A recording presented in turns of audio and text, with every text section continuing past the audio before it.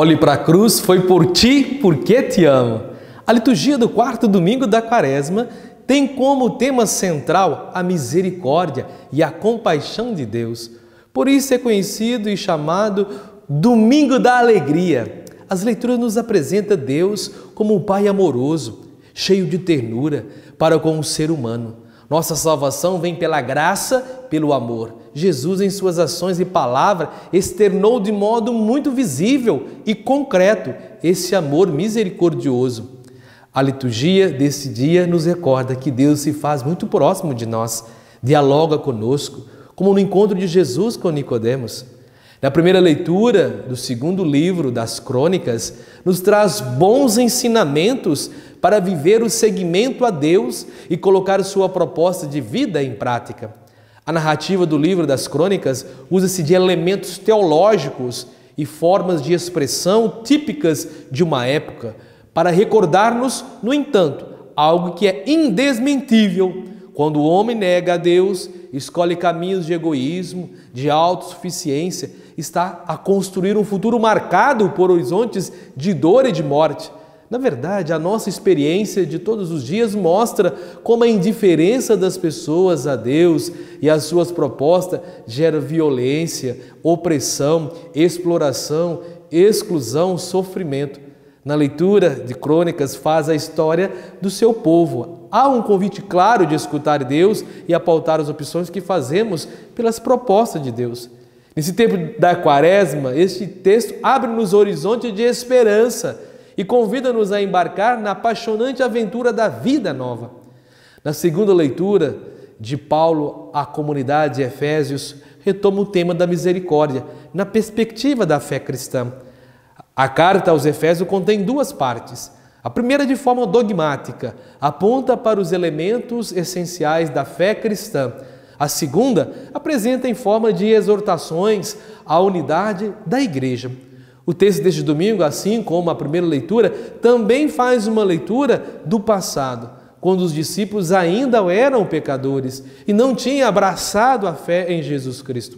Contudo, o momento presente é moldado pela atividade criadora de Deus, que em seu grande amor nos concede uma vida nova, marcada pela graça. Essa leitura destaca a caminhada da conversão da vida pagã para a vida em Cristo.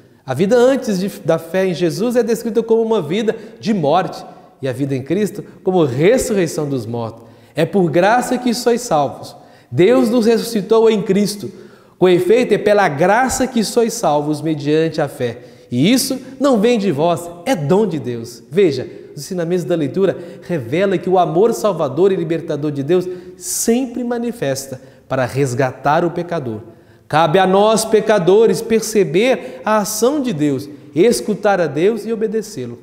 No Evangelho, João recorda-nos que Deus nos amou de tal forma que enviou o seu Filho único ao nosso encontro para nos oferecer a vida eterna. Convida-nos a olhar para a cruz de Jesus, a aprender com Ele a lição do amor total, a percorrer com Ele o caminho da entrega e do dom da vida é esse o caminho da salvação, da vida plena e definitiva. No texto que nos é proposto, Jesus começa por explicar a Nicodemos que o Messias tem que ser levantado ao alto, como Moisés levantou a serpente no deserto, como narra em Números capítulo 21, versículo de 8 a 9.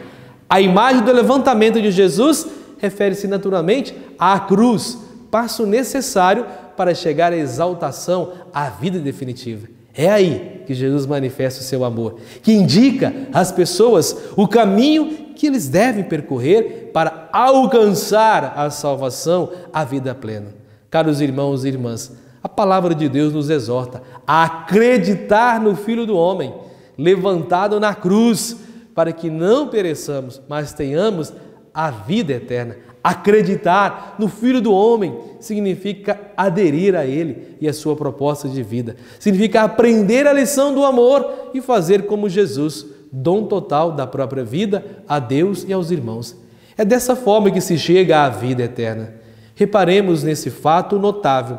Deus não enviou o seu Filho único ao encontro de pessoas perfeitas, e santas, mas enviou o seu Filho único ao encontro de pessoas pecadoras egoístas, autossuficientes, a fim de lhes apresentar uma nova proposta de vida. E foi o amor de Jesus, no poder da cruz e na força do Espírito Santo, que nos inseriu numa dinâmica de vida nova e plena. Caros irmãos e irmãs, ao olharmos a vida nos dias atuais, sim, Vivemos tempos difíceis com essa pandemia do Covid-19 e também incertezas e tristezas com a política, com a economia, com as estruturas jurídicas do país e tantas outras situações que entristecem o nosso coração. Se recordarmos as palavras de Jesus no Evangelho, vivemos tempos de tempestades, ventanias e enxurradas. Quer dizer, tempos de incertezas, tristeza, dor, sofrimento, perdas, desilusão e etc. Mas Deus é maior do que tudo isso que estamos passando e vivendo. Olhe para a cruz, esta é a grande prova do amor de Deus para a humanidade. Ninguém nos ama como Cristo nos amou e nos ama. Por isso, em tempos difíceis, de desilusão ou provação, confie sempre em Deus. Há esperança, porque o Senhor está no meio de nós. É preciso aprendermos a ver a presença de Deus que nos oferece a verdadeira vida. Já dizia o apóstolo: só tu tens palavras de vida eterna. Normalmente, a ação salvadora de Deus não se manifesta em gestos grandiosos, espetaculares, extraordinários. Manifesta-se nesses gestos simples que todos os dias partilhamos uns com os outros, na amizade, na solidariedade, no esforço em construir um mundo de justiça, de paz, na luta contra o sofrimento e contra a miséria que roubam a vida das pessoas. Por isso, repito novamente: é preciso aprendermos a ver a presença de Deus que nos oferece vida e abundância em tudo aquilo que acontece de bom à nossa volta. Deus ama o seu povo com amor sem limite e mostra esse amor com gestos concretos que proporciona vida. Não esqueçamos nunca esta realidade. Deus ama-nos e vem todos os dias ao nosso encontro para nos oferecer o seu amor e a sua vida. Eu sei que a vida está difícil, mas pense nisso. Deus te ama e enviou o seu filho Jesus para te resgatar e salvar. Ouça a Deus, obedeça a Deus. Convido a todos a compartilhar essa homilia com seus amigos e amigas nas redes sociais. Vamos juntos evangelizar. Inscreva-se no nosso canal do YouTube, dê seu like, comente, compartilhe. Sejamos homens e mulheres do bem, comprometidos com o Evangelho de nosso Senhor Jesus Cristo. E que Deus nos abençoe e proteja hoje e sempre. Ele que é Pai, Filho e Espírito Santo. Amém.